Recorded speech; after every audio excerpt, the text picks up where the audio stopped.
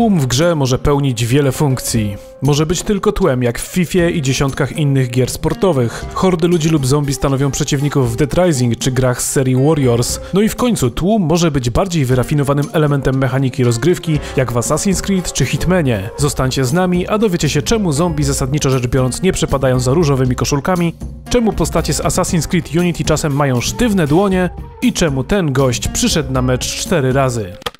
W jednym momencie. Oj, będą cuda. FIFA. Być może najważniejsza seria gier sportowych w naszym kraju. Najważniejsza, bo mająca największą widownię. Widownia FIFA wygląda mniej więcej tak.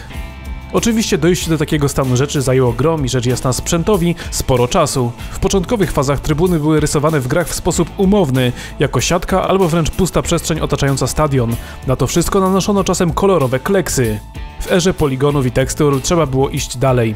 To po prostu pstrokaty różnokolorowy obrazek naniesiony na ścianę bryły reprezentującej trybuny. Technika stosowana w wielu grach sportowych z tamtej ery czasem była wzbogacana chociażby o flesze aparatów, flagi, proste animacje pstrokacizn i inne pomniejsze atrakcje, będące niezbyt wyrafinowaną wskazówką dla naszego mózgu, że oglądamy kibiców. Na przestrzeni lat eksperymentowano z półwymiarowymi widowniami, gdzie ludzie byli dwuwymiarowymi obrazkami albo zdigitalizowanymi zdjęciami rysowanymi na powierzchni stadionu warstwami. Jeszcze w FIFA 2008 można było zobaczyć tak niemrawą publikę, która pewnego charakteru nabierała na niektórych zbliżeniach. Znaczy charak charakterów, wygląda to paskudnie, ale powiedzmy. Z czasem moc komputerów okazała się jednak na tyle mocna, że na trybunach zasiadły trójwymiarowe postacie. Jak wypluć na ekran kilka tysięcy modeli zasiadających na trybunach? W przypadku FIFA na tle innych gier, które tutaj zobaczycie, sytuacja jest stosunkowo prosta, bo sama widownia musi często tylko i wyłącznie wyglądać. Oczywiście autorzy gier sportowych mają nieco inny problem na głowie ogromną liczebność stadionów. W jednym ujęciu może tu przecież znajdować się kilka albo kilkanaście tysięcy postaci. Silniki napędzające sportówki radzą sobie z tym przy pomocy prostych trików, jak doskonale znane wszystkim LOD, czyli ograniczenie poziomu detali obiektów znajdujących się dalej od kamery ukazującej akcję. W wielu przypadkach to, co wydaje się obiektami 3D, może też być sprytnym renderem dwuwymiarowym. Przy szerszych rzutach stosuje się też proste cieniowanie, więc nie trzeba obliczyć tego typu elementów dla każdego obiektu. Sama widownia składa się też z niewielu powtarzających się modeli, co widać nawet w najnowszych odsłonach FIFA, praktycznie na każdej stopklatce. Jednym z prostych trików używanych na uzyskanie różnorodności bez dodawania nowych tekstur jest na przykład zabawa właściwościami samej tekstury. Manipulując nimi można w łatwy sposób uzyskać różne kolory koszulek i tak. Postacie na widowni zwykle dzielą też proste schematy zachowań i animacji. Widać to aż przesadnie na przykład w Top Spin 4, gdzie publiczność zaczyna i kończy bić brawo w podobnym momencie. W oczekiwaniu na rozpoczęcie gemu ludzie nienaturalnie rozpoczynają też ten sam cykl animacji. Tak oczywiście być nie powinno, ale jesteśmy w stanie przejść obok tego obojętnie, bo przecież najważniejsze jest nie to, co dzieje się na trybunach, lecz to, co dzieje się na korcie. A co gdyby widownia jednak na ten kort zeszła? Kij baseballowy w dłoni, smeczujemy. Drugi poziom naszego zgłębiania generowania tłumu ma cechy pierwszego. Tu mówimy o masach ludzi lub innych istot, które nie są bierne, lecz nie są też szczególnie aktywne. Trochę tak jakby niezbyt bogata w procesy myślowe widownie z FIFA zyskała drobną autonomię i przedarła się przez barierki. Dead Rising 3 przyniósł ważną nowość względem poprzednich odsłon, próbę stworzenia otwartego świata, gdzie udałoby się zachować ogromną liczebność zombie. Autorom udaje się generować setki zombie na ekranie, a jednocześnie zachować płynność i nieprzewidywalność rozgrywki. W tym schemacie wykorzystania ogromnej liczby postaci na ekranie chodzi Chodzi przecież o to, by uzyskać przeciwnika przeważającego liczebnością, ale nie cechującego się realistycznym czy rozbudowanym zachowaniem. Z podobnego założenia wychodzą popularne gry z gatunku Musou, czyli przede wszystkim Dynasty Warriors oraz pochodne. Przykładowo Fire Emblem Warriors na Switcha oferuje bitwy, w których można położyć chociażby i 2000 wojów. Na ekranie często widzimy też dziesiątki, jeśli nie setki postaci, co jest niezłym osiągnięciem na niezbyt dobrym sprzęcie, jakim jest Switch. No, niezłym osiągnięciem, ale nie do końca, bo sami widzicie jak to wygląda. Jak działają podobne gry, gdzie tłuczemy hordy wrogów?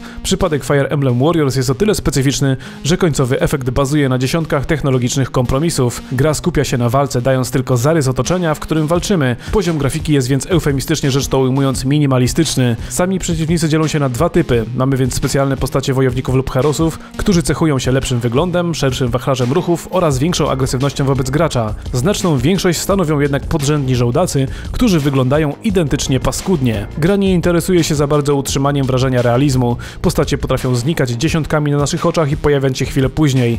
Dla wizualnych purystów taki model jest nie do przyjęcia, ale w samej grze to nie przeszkadza. Zwykli żołnierze są tylko mięsem armatnim do nabijania doświadczenia i energii, otwierającej dostęp do potężniejszych ataków.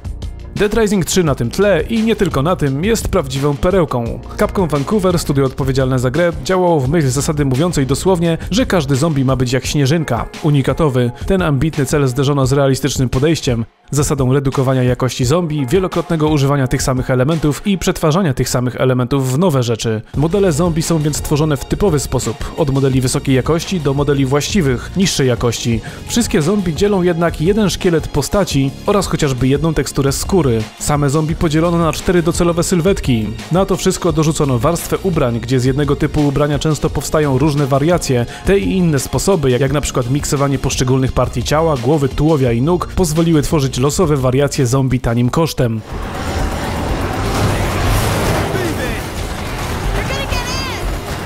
Żeby to wszystko działało, gra stosuje oczywiście kilka stadiów LOD, czyli poziomu szczegółowości, o którym już mówiliśmy. Pierwszy, gdzie model jest najbardziej szczegółowy, obejmuje przerywniki filmowe i specjalne ataki, a ostatni, gdzie model wygląda źle, włącza się na postaciach znajdujących się naprawdę daleko. Jednym z mniej oczywistych, ale dotkliwych problemów, na jaki natknęli się autorzy Dead Rising 3, była kolorystyka. Gdyby do puli elementów, jakie mogą zostać wylosowane przy tworzeniu zombiaków, dodać chociażby jaskrawo różową koszulkę, istniałoby ryzyko, że pojawi się jej dużo w tłumie i że będzie się to rzucało w oczy, co niszczyło byłoby wrażenie unikatowości, dlatego właśnie barwy w Dead Rising 3 są tak przytłumione. W innym wypadku taka koszulka rzucałaby się w oczy, a tego przecież nie chcemy. Teraz chcemy czegoś zupełnie innego. Chcemy się w tłum wtopić i być niezauważonym.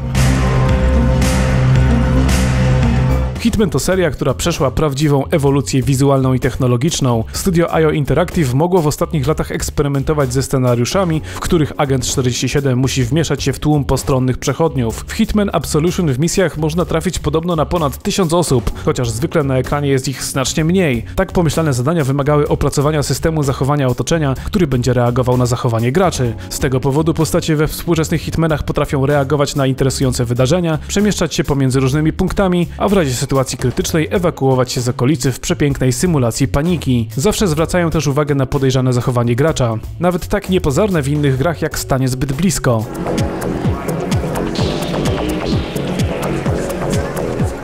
Tłum w swoją esencję wpisał także Assassin's Creed, gdzie od pierwszych odsłon obserwujemy mniej lub bardziej udane symulacje życia miast, tylko po to, by korzystać z anonimowości tychże fikcyjnych społeczności. Klasyczne już przysiadanie się na ławce i wtapianie się w tłum to chleb powszedni każdego asasyna. Oczywiście Hitman różni się od Assassin's Creed tym, że zwykle bazuje na mniejszych mapach i nie próbuje w żadnym stopniu symulować życia miasta. Mimo tego obie gry korzystają w różnym stopniu z niemalże wszystkich wymienionych do tej pory technik, by z powodzeniem nie obciążać procesora, pamięci, karty grafiki. Mieszanka tych samych elementów modeli i tekstur, podobnych animacji, ograniczania poziomu detali na dalszych postaciach to szeroko przyjęte standardy. Tym, co stanowi tu największe wyzwanie, jest sztuczna inteligencja odpowiadająca za reakcje NPC-ów. Nawet najprostsze rzeczy, jak na przykład przemieszczanie się w sposób autentyczny, wymaga obudowania gry wieloma warstwami systemów szukania ścieżek, odbierania bodźców i podejmowania decyzji w locie, czego aż w takim stopniu nie musieli robić twórcy Dead Rising.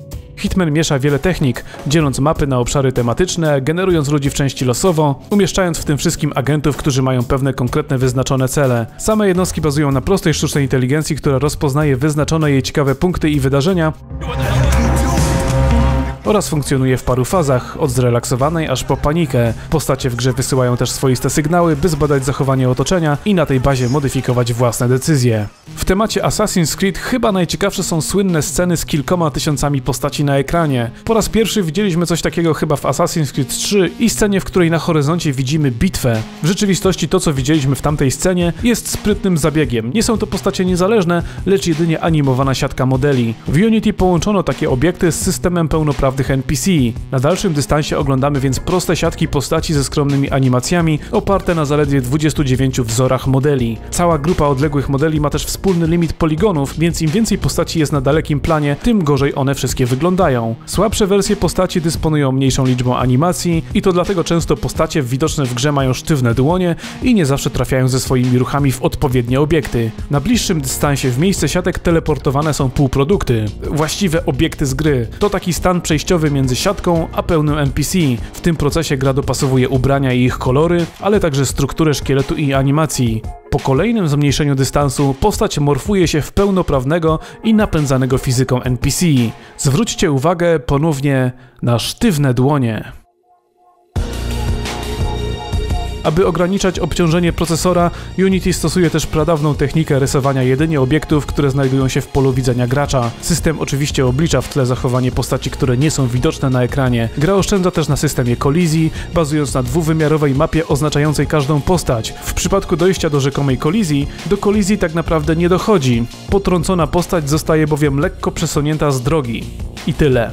W budowaniu realizmu tłumu Assassin's Creed stosuje takie techniki jak nadawanie postaciom losowo generowanych zamkniętych ścieżek, przytykanie rutynowych przechodniów bardziej unikatowymi postaciami i animacjami. Poza tym mamy system frakcji generujący nawzajem pewne antagonizmy, system wydarzeń, no i oczywiście czapki. Przecież kiedy oglądamy tłum postaci, to w przypadku postaci, które są dalej, widzimy tylko ich głowy. Dając im różne okrycia głowy, można więc bardzo łatwo ukryć fakt, że liczba właściwych różnorodnych modeli przechodniów jest bardzo niewielka. No, wspaniała technika, po prostu czapki z głów.